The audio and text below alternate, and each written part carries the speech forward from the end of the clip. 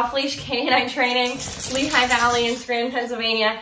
And I have brand new board and train drop off London. And London is a five-month-old sheep, a doodle.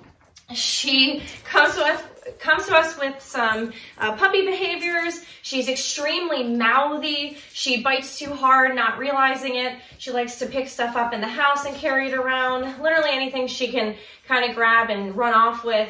She loves to get herself into a lot of trouble, but mom says she is so cute, so it's hard to stay mad at her. I mean, obviously, look at her. She is a bundle of fur. So fluffy. Um, she came when she was much tinier to see us, and um, I had a puppy consultation with her, and we tried to give her uh, or start her on some basic commands to help her out at home until the board and train, until she was old enough to come to the board and train.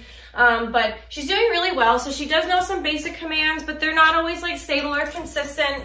And she's a little bit nervous of things sometimes. Um, there is a moose head in here that she just noticed now. But so we're gonna try to build up her confidence. we're gonna try to build up her confidence and uh, get her working everywhere. She's highly distracted by other dogs and people. She wants to see everybody. So uh, let's see, without further ado, uh, what London can do for us on day one. London, come. She's gonna be distracted by that now. London, come.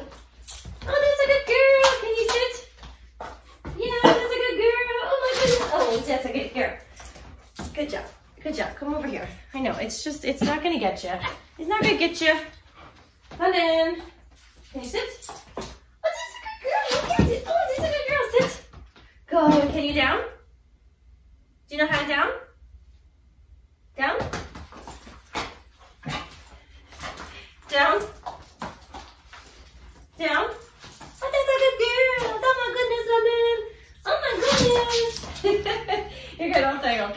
So she does know some of the basics as you can see, but she doesn't always offer it when you ask. So it's, it's not always consistent and there's no stability. She's popping right back up.